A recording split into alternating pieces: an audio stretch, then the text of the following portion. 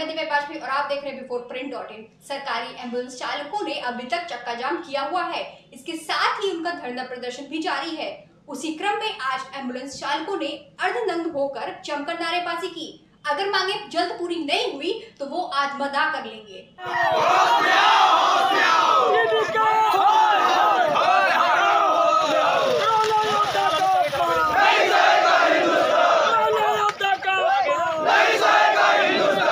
प्रतापगढ़ में लगातार एंबुलेंस चालकों की हड़ताल जारी है। हड़ताल कद कारण एंबुलेंस के पहिए थमे हुए हैं। पृथ्वीगंज, हवाई पट्टी पर डेरा जमाए एंबुलेंस चालकों ने आज अर्धनंग होकर प्रदर्शन किया। हाथ में महा आंदोलन का बैनर लेकर अर्धनंग होकर जमकर नारेबाजी भी की।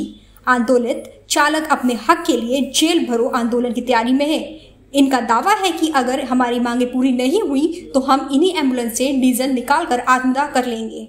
कि आप सभी भाई देख रहे हैं कि अभी तक हमारी मांगे पूरी नहीं हुई हैं। नहीं और अभी प्रदेश स्तर पे भी हड़ताल जारी है हमारे बहुत से कर्मचारी लखनऊ पहुँच रहे हैं। और आगे अब अगर प्रशासन आता है और हम लोगों से भी एक गाड़ी भी माँगता है तो हम लोग उनको डायरेक्ट चाबी देंगे और सीधा लखनऊ को कूच करेंगे। बिल्कुल। सभी भाई ध्यान जब जेल भरो आंदोलन होगा। अब चाहे जो हो जाए अपना हक हम लेके रहेंगे।